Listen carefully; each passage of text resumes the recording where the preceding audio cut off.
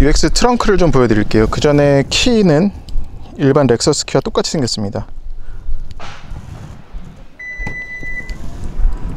열면 이렇게 열리는데 근데 재밌는 거는 다시 닫아보면 닫히는 것도 되는데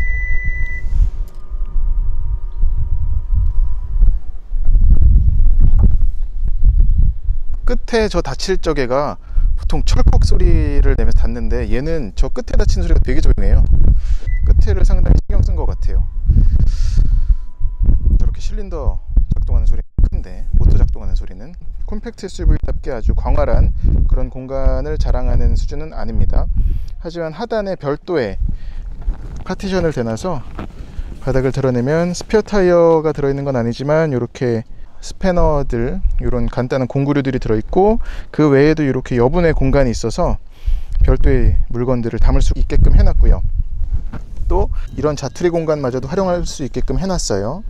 여기에도 이런 작은 공간이 있고 이 끝에도 공간을 마련을 해놨습니다. 그래서 열어보면 여긴 좀 더 크죠 공간이? 그리고 편의 사양으로는 이런 시가잭이 하나 있고 이쪽에는 고리가 있습니다. 고리는 양쪽에 다 있어요. 그리고 4kg까지 지탱할 수 있는 고리가 양쪽에 있어요. 얘도 접을 수 있고. 그리고 재미난 게 하나 있습니다. UX에는. 바로 보통 해치백이나 이런 SUV 또는 외건 같은 모델은 트렁크에 있는 짐이 잘 보이지 않도록 여기에 콤파트먼트 덮개가 있잖아요. 근데 얘는 그 덮개가 없는 대신에 바로 이런 차양막이 있습니다. 제가 지금 바닥에다가 늘어놨는데 보여드릴게요 보시면 이런 주머니가 있어요. 주머니에 들어있는 덮개인데 사용법도 이렇게 그림으로 마치 비행기 타면은 구명조끼 입는 설명서 같죠? 이렇게 잘 설명이 돼 있고 네 이건데 요 끝을 잡고서 우리 꼭 줄넘기 하다가 X자 하듯이 손을 꺾으면 요만한 크기로 접힙니다. 원터치 텐트처럼 놓으면 쫙 펴지죠. 그러니까 한 번 더 해보면 이렇게 잡고서 네. 이렇게 하면 접혀서 이 주머니 좀 전에 보여드렸었던 주머니에 넣게끔 사이즈가 딱 나옵니다. 홈쇼핑 하는 것 같네. 그리고 얘는 어디에 체결을 하냐면 고리가 또 양쪽에 있잖아요. 여기랑 여기 그리고 이 트렁크 해치에도 여기 달렸죠? 여기다 걸면 돼요. 네 이게 방금 보여드렸었던 차양막 같은 가림판 막을 장착한 모습이에요. 그러면 요 스트랩이랑 저 끝에 달린 고리로 체결을 할 수가 있습니다.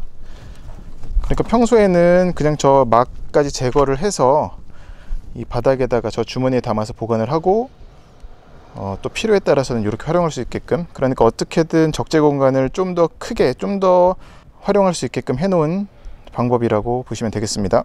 리어 시트를 접었을 경우는 이렇게 확장된 공간이 나타나고요. 그리고 공간을 보시면 이제 이 바닥이 꽤 높아요. 그러니까 성인의 기준으로 볼 적에는 약간 허리춤까지 올라오지 않나 싶고요. 그러다 보니까 상대적으로 짐을 싣기가 용이합니다 그대로 밀면은 되거든요. 짐을 쭉 밀면은 실을 수가 있죠. 거기다가 보통 SUV 같은 경우는 저 턱이 진 게 보면은 앞쪽으로 갈수록 올라가게끔 되어 있는데 얘는 내려가게끔 되어 있잖아요. 그래서 짐을 밀어 넣을 적에 좀 더 편하게 끝까지 밀어 넣을 수 있겠습니다.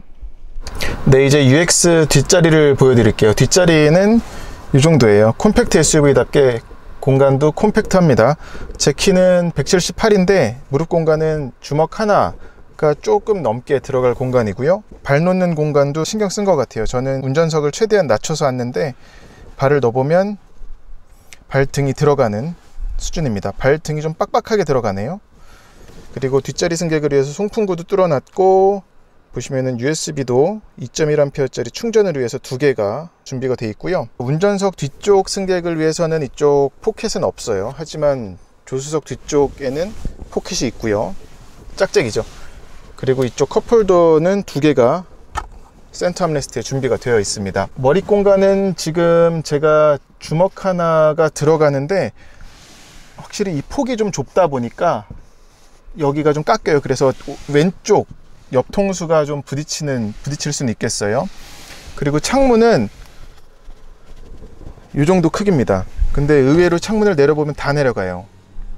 그러니까 도어 형태 때문에 다 안 내려갈 줄 알았는데 다 내려가네요. 그리고 쪽창은 따로 없지만 이걸 또 깊이 파놨어요. 밖에서 보는 거랑은 이게 좀 다르네요. 그래서 뒷자리에 앉은 승객이 시야를 내다볼 적에 이 스티커 버튼 쪽에 상당히 시야는 괜찮습니다. 그리고 rear 시트는 reclining은 되지 않고요. 보시면은 이쪽에 LED로 독서 등이 있는데 상당히 밝습니다. 아, SUV인데 도어 포켓이 없네요.